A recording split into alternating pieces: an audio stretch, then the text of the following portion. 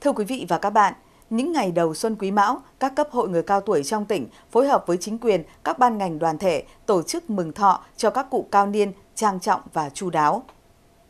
Đã thành thông lệ, cứ dịp đầu xuân, các khu dân cư trên địa bàn phường Tân Bình, thành phố Hải Dương lại tổ chức mừng thọ cho các cụ cao tuổi. Năm nay trên địa bàn phường có hơn 220 người cao tuổi được mừng thọ, chúc thọ. Các cụ cao niên vui mừng được con cháu đưa đến nhà văn hóa khu dân cư để tham dự lễ mừng thọ. Bên cạnh các phần quà do tri hội người cao tuổi và các ban ngành đoàn thể trích quỹ trao tặng, thời gian qua Hội người cao tuổi phường tích cực vận động nguồn lực xã hội hóa để có thêm những phần quà động viên tinh thần người cao tuổi.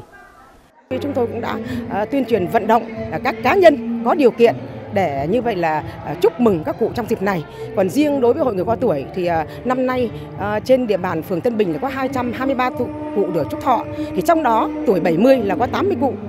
tuổi 75 là có 72 cụ,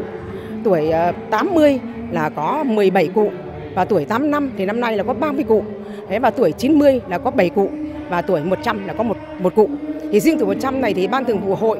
cũng đã đến tận nhà để chúc thọ cho các cụ.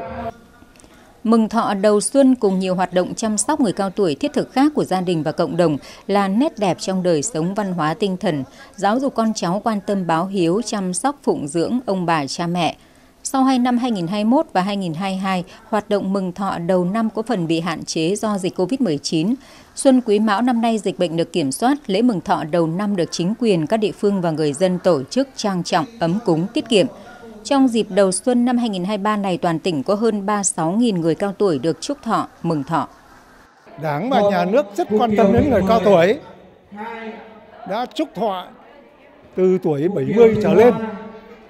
đây là một cái sự quan tâm đặc biệt của Đảng và nhà nước, nhất là chính quyền địa phương. Mặc dù kinh phí rất lớn như thế, nhưng mà trên vẫn quan tâm. Chúng tôi rất phấn khởi và sẽ thấy được vấn đề đây là phải quyết tâm để mà chấp hành mọi chủ trương chính sách của Đảng và nhà nước. Trong dịp Tết à, Nguyên đán Quý Mão 2023 vừa qua ấy, thì à, hội người cao tuổi ở các xã phường thị trấn cũng như tri hội người cao tuổi ở thôn khu dân cư đã phối hợp với chính quyền mặt trận tổ quốc à, các ban ngành đoàn thể và gia đình tổ chức tốt việc chúc thọ mừng thọ cho người cao tuổi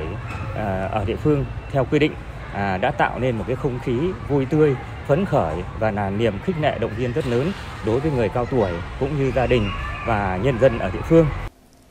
Những năm qua cùng với tổ chức tốt hoạt động chúc thọ mừng thọ người cao tuổi, cấp ủy chính quyền các địa phương còn tổ chức nhiều hoạt động quan tâm chăm sóc động viên người cao tuổi. Các chính sách của Đảng nhà nước dành cho người cao tuổi đều được thực hiện đầy đủ kịp thời. Theo dòng chảy của thời gian, lễ chúc thọ mừng thọ vẫn được giữ gìn và trở thành một nét đẹp văn hóa trong mỗi dịp Tết đến xuân về. Đây cũng là việc làm nhằm khẳng định và nâng cao vai trò vị thế của người cao tuổi đối với gia đình và xã hội.